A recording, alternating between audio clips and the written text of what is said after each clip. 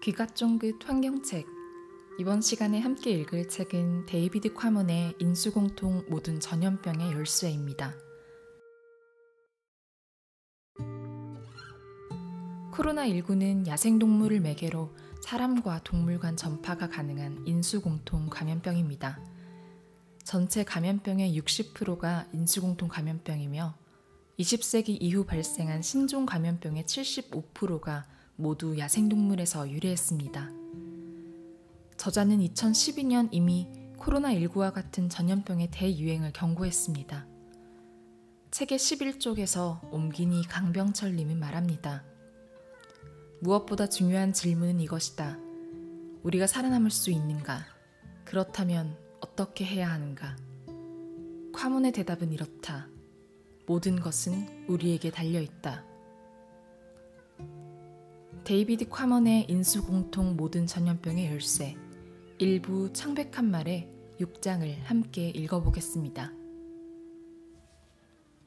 1994년 헨드라 바이러스 사건은 나쁜 소식을 전하는 첫 번째 북소리에 불과했다. 지난 50년간 그 북소리는 점점 크고 점점 빠르게 한지도 쉬지 않고 울려 퍼지고 있다. 이런 인수공통 감염병의 전성시대는 언제, 어디서 시작된 것일까? 한 가지 사건을 집어낸다면 너무 인위적인 느낌이 들지만 1959년에서 1963년 사이에 볼리비아의 시골 지역에서 유행했던 마추포열 바이러스부터 이야기를 시작해 볼 수 있을 것이다. 이 병이 처음부터 마추포열이라고 불린 것은 아니었다. 사실 처음에는 바이러스인지도 불분명했다. 마추포는 볼리비아 북동부 저지대를 흐르는 작은 강 이름이다. 첫 번째 증례는 한 시골 농부에서 꽤 심각하지만 생명에 지장이 없는 열병으로 나타났기에 거의 주목받지 못했다. 1959년 우기 중에 생긴 일이었다. 하지만 이후 3년간 같은 지역에서 양상은 비슷하지만 훨씬 심한 열병이 계속 나타났다. 환자들은 열이 나면서 오한이 심하고 구토가 동반되며 온몸이 아프고 코와 잇몸에 출혈이 생겼다. 현지인들은 이 병을 엘티프 네그로라고 불렀는데 1961년 말까지 245명의 환자가 발생했으며 사망률은 40%를 기록했다. 사망 행렬은 바이러스가 분리되고 보유 숙주가 밝혀지고 전염 경로가 완전히 파악되어 예방 조치가 취해질 때까지 계속 이어졌다. 쥐를 박멸하려는 노력이 큰 도움이 되었다. 미국과 볼리비아 합작 연구팀이 현장의 열악한 상황 속에서도 대부분의 과학적 연구를 수행했는데 팀원 중에는 칼 존슨이라는 젊고 열정적인 과학자가 있었다. 그는 신랄할 정도로 자기 의견을 밝히는데 거침이 없었고 바이러스의 치명적인 아름다움에 깊이 매료된 나머지 스스로 마추포열에 걸려 거의 죽을 뻔도 했다. 애틀랜타의 미국 질병관리본부에서 장비를 갖춘 연구팀을 파견하기 전이었으므로 존슨과 동료들은 그때그때 필요한 방법과 도구를 찾아 만들어가며 상황에 대처했다. 파나마에 있는 한 병원에서 열병을 이겨낸 후 칼 존슨은 신종 병원체들이 등장하는 기나긴 대하소설 속에서 중요하고 영향력 있는 배역을 맡게 된다. 최근 수십 년 사이에 이 대하 소설 속에서 중요한 순간과 큰 걱정거리로 기록되었던 질병 목록은 마추포열에서 그치지 않는다. 마르부르크병, 라사열, 에볼라, 에이즈 바이러스, 에이즈 바이러스 2, 신놈브레 바이러스, 헨드라, 조류독감, 니파, 웨스트나일, 사스, 그리고 2009년에 무시무시한 공포를 일으켰다 용두사미로 끝난 돼지독감 등이 있다. 빅레일의 불쌍한 앞말보다도 훨씬 파란만장하고 극적인 연속극이었던 셈이다. 이런 목록을 끔찍하지만 무관한 사건들로 보는 사람도 있을 것이다. 저마다 불가사의한 원인으로 우리 종, 즉 호모사피엔스에게 일어난 독립적인 불운이라고 말이다. 그렇다면 마추포열과 에이즈와 사스와 기타 병원체들은 비유적인 또는 문자 그대로의 의미에서 불가항력이라 할 것이다. 지진이나 화산 폭발이나 운석이 충돌하는 것처럼 수습할 수 있을 뿐 피할 수는 없는 가슴 아픈 사건이다. 수동적이며 거의 금욕적인 관점이다. 틀린 관점이기도 하다. 분명히 말하건대 이런 질병들이 번갈아 계속 찾아오는 현상은 서로 밀접하게 연관되어 있다. 각각의 질병은 저절로 생긴 것이 아니다. 우리가 저지른 일들에 의도하지 않은 결과일 뿐이다. 질병들은 우리가 사는 행성에서 진행 중인 두 가지 위험이 한 점에서 만난 결과 생겨났다. 첫 번째 위험은 생태학적인 것이고 두 번째는 의학적인 것이다. 두 가지 위험이 서로 만나는 순간 전혀 예기치 못했던 것들이 원인이 되어 과학자들 사이에서 오래전부터 깊은 걱정과 불길한 예감으로 존재했던 섬뜩하고 무시무시한 신종 질병이 출현하는 양상이 반복되고 있다. 도대체 이 질병들은 어떻게 동물과 인간 사이의 장벽을 뛰어넘었으며 왜 최근 들어 점점 빈번하게 발생하는 것일까? 문제를 있는 그대로 묘사하면 이렇다. 인간이 초래한 생태적 압력과 혼란 때문에 동물의 병원체가 인간과 접촉하는 일이 어느 때보다 많아졌으며 동시에 인간의 기술과 행동 때문에 병원체가 유례 없이 넓고 빠르게 퍼진다. 여기에는 중요한 세 가지 요소가 작용한다. 첫째, 인류의 활동이 대재앙을 초래할 만큼 빠른 속도로 자연 생태계를 붕괴시키고 있다. 누구나 이 문제를 대강은 안다. 벌목, 도로 건설, 화산농법, 야생동물 사냥과 섭식, 목초지를 확보하기 위한 숲의 개간, 광물 채취, 도시 확장, 교외 개발, 화학적 오염, 바다의 부영양화, 해양식량 자원의 남획, 기후변화, 모든 경향을 부채질하는 물품의 과잉 생산과 국제 교역, 자연을 훼손하는 모든 문명화 계획. 이런 활동을 통해 우리는 생태계를 산산조각 내고 있다. 물론 인간의 생태계 파괴는 새삼스러운 일이 아니다. 인류는 까마득한 옛날부터 간단한 도구들을 가지고 이런 활동들을 계속해왔다. 하지만 현재는 70억 명에 달하는 인간이 현대적 기술을 언제라도 이용할 수 있으므로 그 축적 효과가 위험 수준에 도달했다. 유일하게 위기에 처한 생태계는 아니지만 열대우림 지역은 가장 풍요롭고 섬세한 구조를 지니고 있다. 그 속에 사는 수백만 종의 생물은 대부분 존재가 알려지지 않았거나 특성이 완전히 밝혀지지 않았다.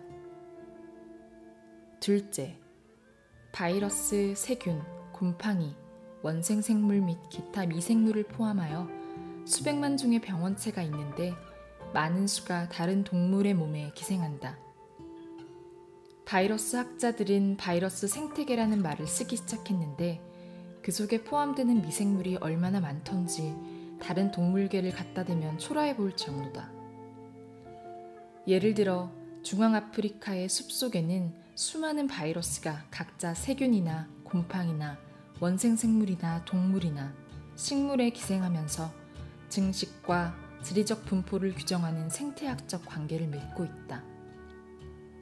에볼라, 마르부르크병, 라사열, 원숭이 두창, 에이즈 바이러스 등은 극히 일부일 뿐이다. 아직 발견되지 않은 바이러스가 엄청나며 이들이 기생하는 숙주조차 아직 발견되지 않은 것들이 많을 것이다. 바이러스는 다른 생물의 살아있는 세포 속에서만 증식한다. 보통 특정한 동물이나 식물 중에 기생하는데 이때 양자 간의 관계는 매우 밀접하며 오랜 세월에 걸쳐 확립된 것으로 항상 그런 것은 아니지만 공생 관계인 경우가 많다.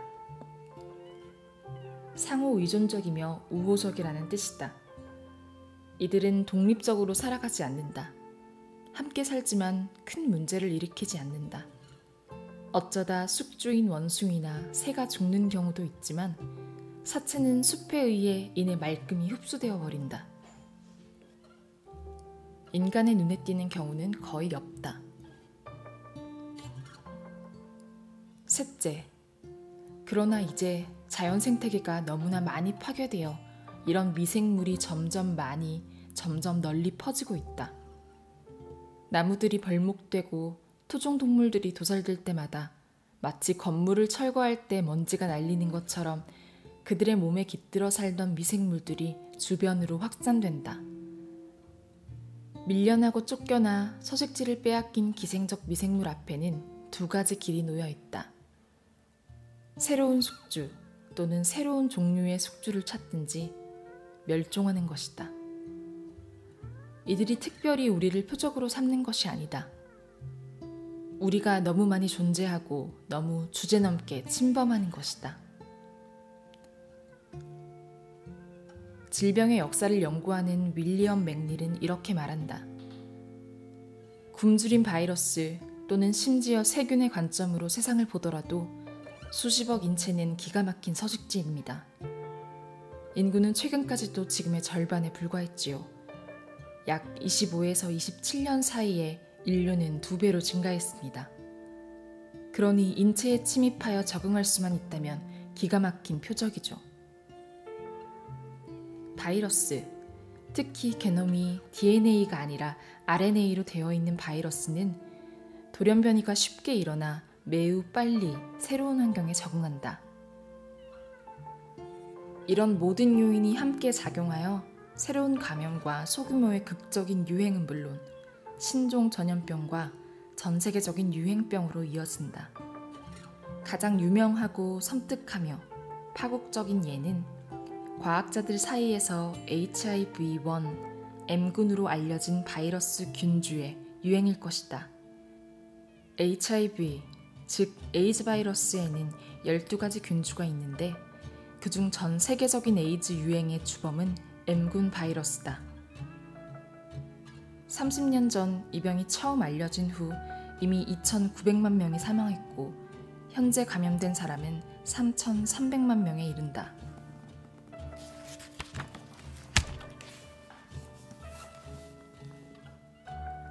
그 엄청난 영향에도 불구하고 사람들은 아프리카의 외딴 숲속에서 침팬지의 몸속에 무해한 감염처럼 잠복해 있던 HIV-1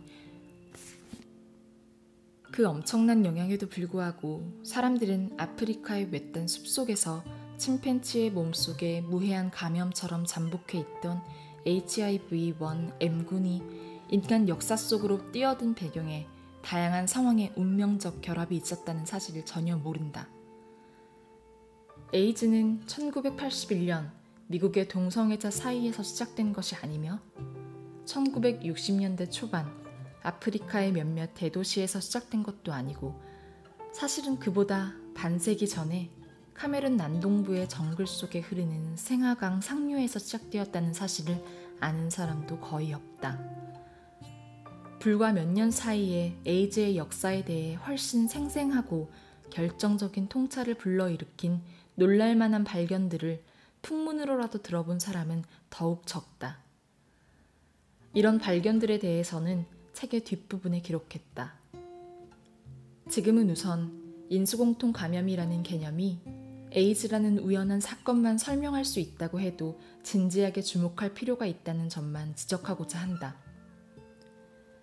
그러나 이 개념을 이용하면 훨씬 많은 것들, 즉 과거, 현재, 그리고 미래의 전 세계적 유행과 파국적인 결과를 초래할 질병들을 설명하고 대비할 수 있다.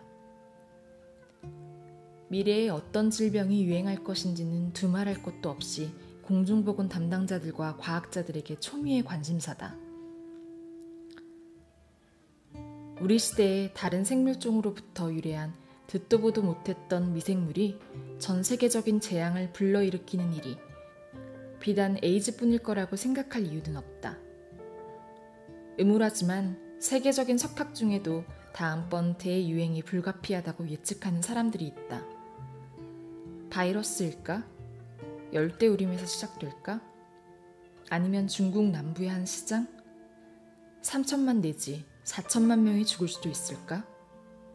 에이즈와 다음번 대유행의 가장 큰 차이는 에이즈 바이러스에 의한 죽음이 천천히 다가온다는 점일지도 모른다. 신종 바이러스에 의한 질병들은 대부분 매우 빨리 진행한다. 나는 새로운 출현 또는 신종이라는 말을 일상적으로 사용하는데 어쩌면 그런 일이 실제로 일상적으로 벌어지는지도 모른다. 전문가들 사이에 이런 용어가 일상적으로 쓰인다는 것은 확실하다. 심지어 이 주제만 다루는 학술 저널이 따로 있을 정도다. 미국 질병관리본부에서 매월 발간하는 신종 전염병이다. 하지만 우선 새로운 출현이란 말부터 정확하게 정의해보자. 과학 문헌을 뒤져보면 몇 가지 정의를 찾을 수 있다. 나는 단순한 정의가 좋다. 즉, 신종 전염병이란 새로운 숙주 집단이 처음 노출된 후 발생률이 계속 증가하는 감염병이라고 정의하는 것이다.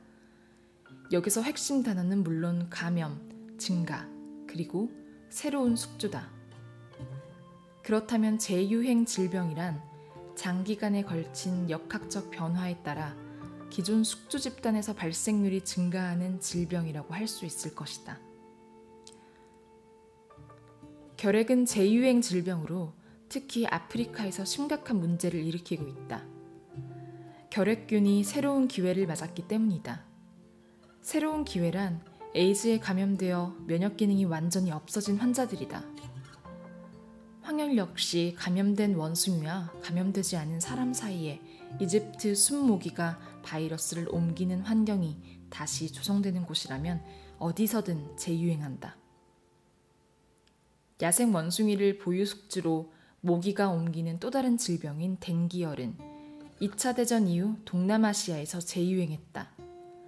적어도 부분적으로는 도시화의 진행, 여행객의 증가, 부적절한 하수 관리, 비효율적인 모기 방제, 기타 다른 요인들이 작용한 결과다. 새로운 병원체의 출현과 종간 전파는 서로 다른 개념이지만 연결되어 있다.